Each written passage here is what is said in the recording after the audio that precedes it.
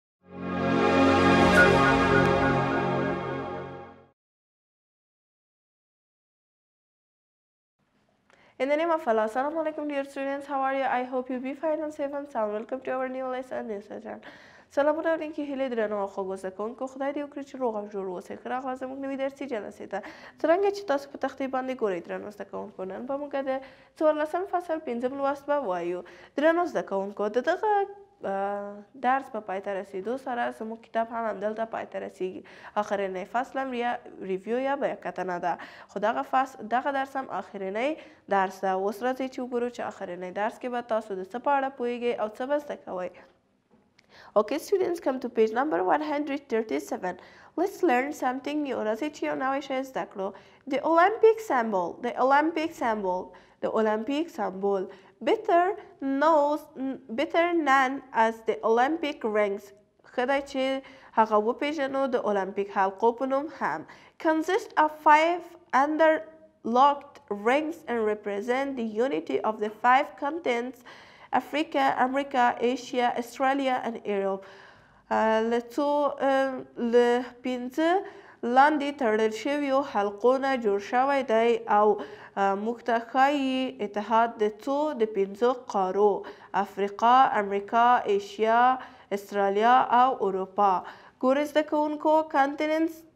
څه مانا ورکوي قاره The colors blue او رنګونه یې دي blue شین yellow زیړ black تور green شین او red سور over a white field د یو سپینې ساحې سپینه ساحه یعنی چې لاندې بګراوند یې سپین دی فارمز د اولمپیک فلګ چې د اولمپیک بیرغ جوړوي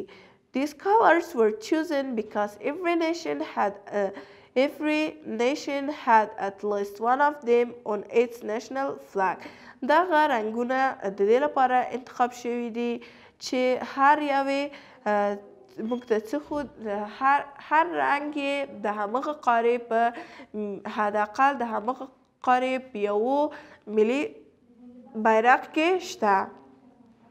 List of some sports of Olympic games د بعضې اولمپیک لوبو نمونه Archery آرچري غشې او لیندۍ بدمنتون، Badminton، یوه لوبه ده. هغه پینګ پانګ غوندې یوه لوبه ده، جالۍ لري او توپ یې هم له جالیو نه جوړ شوی دی. باسکیټ بال، بوکسینګ، سایکلینګ، فینسینګ، Fencing، څه ته وایي؟ توره وهنه. فوټبال.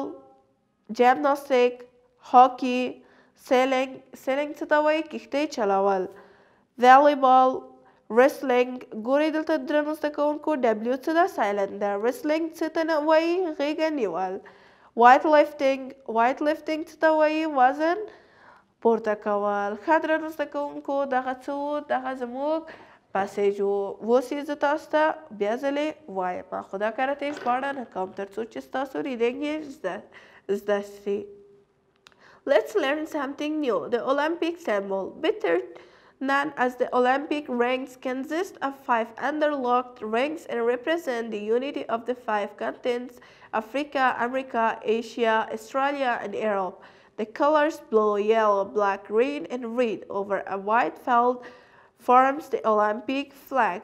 These colors were chosen because every nation had at least one of them on its national flag.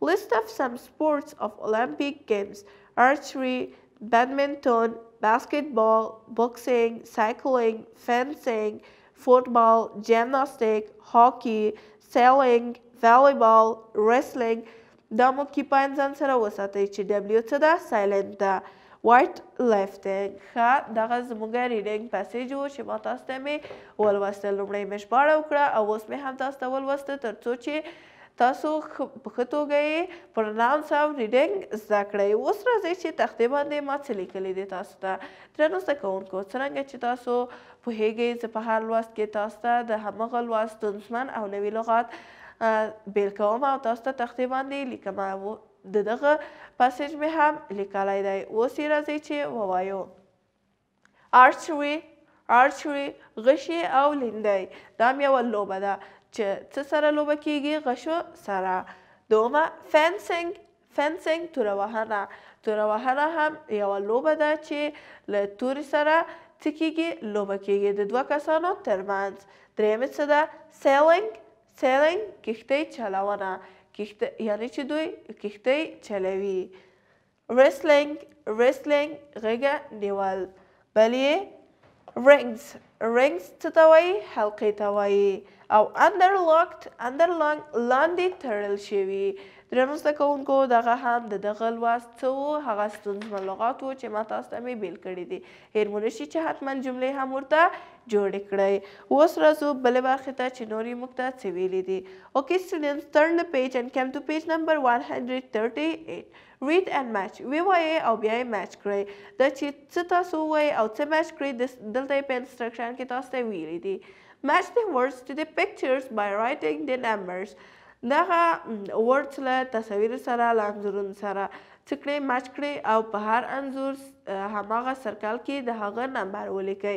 مثلا Boxing بوکسینګ بوکس کول لومړی انځور کې ګورئ څه کوي دا سکي کوي دغه سکی کوم دی څلرم وردور ته راځي دلته به تاسو څه لیکئ نمبر یې څلرم لیکئ دو منظور د بوکسنګ دی بوکسنګ څوم نمبر ورد دی بوکسنګ لومړی لومړی ورد ده دلته به یو لیکئ ګورو زده کوونکو همدغه رنګه تاسو نور یې هم ترسره کوئ او دغه وو زموږ نننۍ لوست او د همدغه درس پای ته رسیدو سره څنګه چې ما تاسو ته په پیل کې هم ویلي زموږ د دغه کتاب لوستونه پای ته رسیږي او بل فصل کې موږ یو ریویو یا بیا کتنه لرو ښه درنو زده کوونکو که تاسو په دغه څوارلس فصلونو کې څه ستونزه لرئ او یا هم څه له ما نه پاتې دي او زه نه یم متوجه شوی، تاسو ما سره کولی شئ چې په کمنټ کې را شیئر کړئ تر څو چې زه تاسو ته هماغه ستونزه مو حل کړم. درنو زده کوونکو له ملتیا مو مننه. که غواړئ چې زموږ ویډیوګانې په اسانه توګه ترلاسه کړئ چینل مو سبسکرایب کړئ او ویډیوګانې مو لایک کړئ. تر بلې درسي جلسې پورې الله پامان، ښه وخت، ګوډ بای، سي یو نیکسټ سیشن، تانکس فار یور اتنشن.